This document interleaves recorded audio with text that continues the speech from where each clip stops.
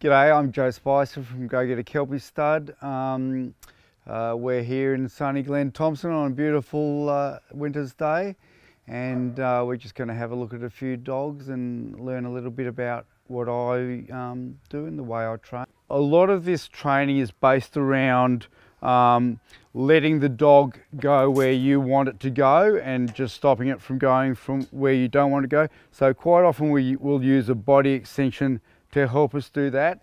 And so this yard is structured so that uh, I can reach from one side to the other without taking too many steps. So it's not too big, it's not too small. It's also very important that the dog can actually get around the sheep without pushing them away. So it's got to have some size about it. So one thing I, I'm looking at is just getting this pup in the right frame of mind to begin with. I don't want to be too far inside its mind and I don't um, um, want it to be off with the pixies either. So I'm not so worried about it jumping on me at the moment. I'll slowly just nag it until it gets the point that I don't want it to jump on me. So there we go. So I'll nag again. So a lot of people don't take the time to do this.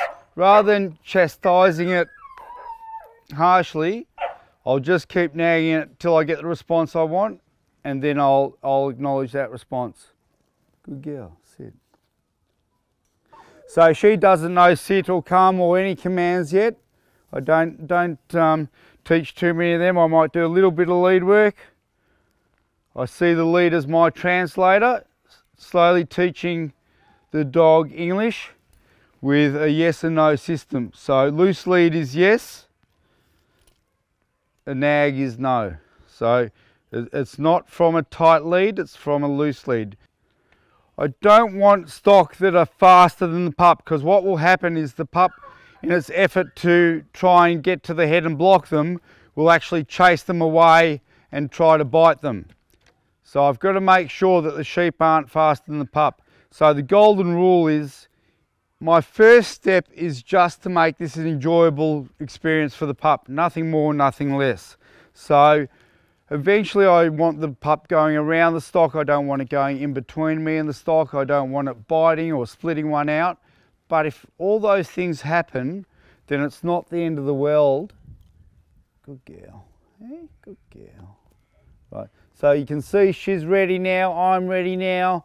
The sheep aren't in the corner. I can step in to be three metres away from them.